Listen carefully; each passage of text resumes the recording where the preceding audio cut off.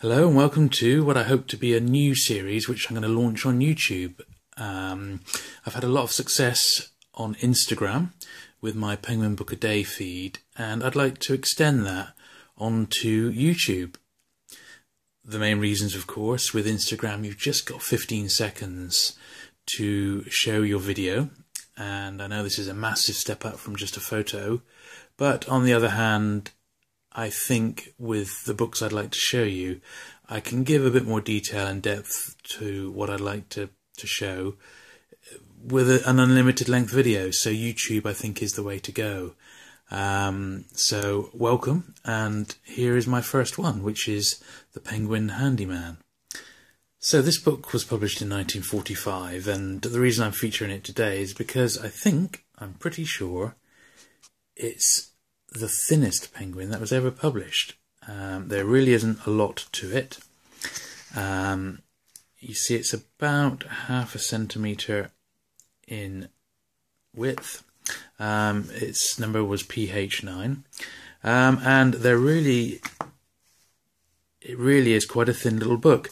Um, it came out just after the war, so paper rationing was still in evidence, um, and you can see the pages; they're almost see-through and that's that's one of the reasons. Although there are only 84 pages in total, that's the main reason is because it was under wartime economy standards, and uh, paper was rationed. Although Penguin got more than its fair share of allowance. Um, so there you are, quite an interesting little book. Um, very much of its time. This copy, I think, must be an export one because there's no usual. The usual British price would be there, and someone's had to put a sticker on. The original bookshop would have put a sticker on top of that one but there's no bookshop uh, normal bookshop price on there.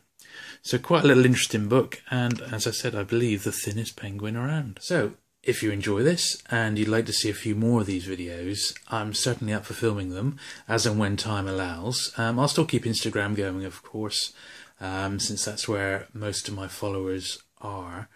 But I think for the longer videos, such as you know recently when I was covering uh, my Beatles paperbacks. Um, I mean, that took like four videos to show, and you know, it'd be much better to do just one nice long, I don't know, 10 minute video showing them all off, um, and in a bit more detail as well. So, if you want these to continue, please subscribe to my channel, uh, like up the video, leave a comment would be nice. Um, and thank you very much for watching. Uh, so, my second video, I've actually got a competition a nice, uh, nice wartime vintage penguin, which I'm going to give away. So see you soon. Bye.